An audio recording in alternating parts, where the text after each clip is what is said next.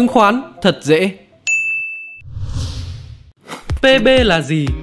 Trong video số 13, chúng ta đã tìm hiểu về chỉ số BVPS, tức giá trị sổ sách của một cổ phần và biết được nó được dùng để tính chỉ số P trên B, một trong những chỉ số quan trọng để so sánh giá trị cổ phiếu trên thị trường. Chỉ số P trên B là từ viết tắt của Price to Book Value Ratio, thể hiện giá cổ phiếu cao gấp bao nhiêu lần tài sản dòng.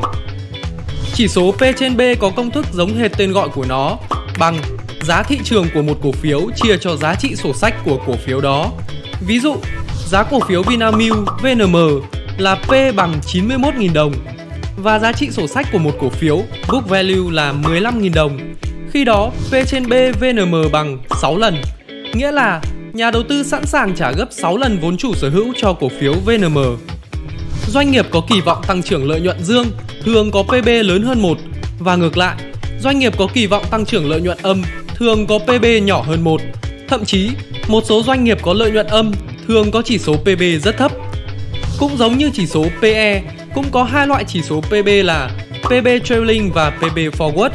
Ưu điểm của chỉ số PB là Thứ nhất, vì giá trị sổ sách book value BV thường có giá trị dương nên có thể sử dụng PB để định giá ngay cả những công ty làm ăn thua lỗ. Thứ hai, vì giá trị sổ sách thường ổn định hơn EPS nên chỉ số PB sẽ phù hợp để đánh giá các doanh nghiệp hoặc các ngành có EPS quá biến động như ngân hàng, bất động sản.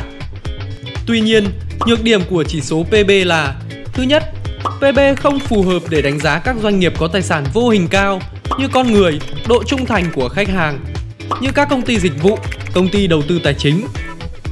Thứ hai, PB không hiệu quả ở những công ty tăng trưởng nhanh. Trên thực tế, PB thường được sử dụng riêng cho ngành ngân hàng. Chất lượng tài sản là yếu tố quan trọng hàng đầu trong việc đánh giá ngân hàng, nên việc sử dụng chỉ số P trên E hay chỉ số dựa vào lợi nhuận để đánh giá các ngân hàng là không phù hợp. Do đó, nhà đầu tư thường sử dụng chỉ số mang tính bền vững, ít biến động hơn, đó là chỉ số PB để đánh giá ngân hàng. Một số doanh nghiệp có chỉ số PB ở mức rất cao. Lý do là vì công ty có tăng trưởng lợi nhuận cao, công ty có tài sản vô hình lớn, giá trị thương hiệu, giá trị con người, độ trung thành của khách hàng. Công ty hoạt động trong các ngành nghề kinh doanh ổn định và ít chịu rủi ro như tiêu dùng thiết yếu, khả năng xâm nhập ngành thấp, các doanh nghiệp được nhà nước bảo hộ. Các công ty có ít rủi ro về tài chính, tỷ lệ nợ vay thấp. Vì thế các nhà đầu tư sẵn sàng trả nhiều tiền hơn cho giá trị ghi sổ của doanh nghiệp. Và đó là nội dung của chỉ số P trên B.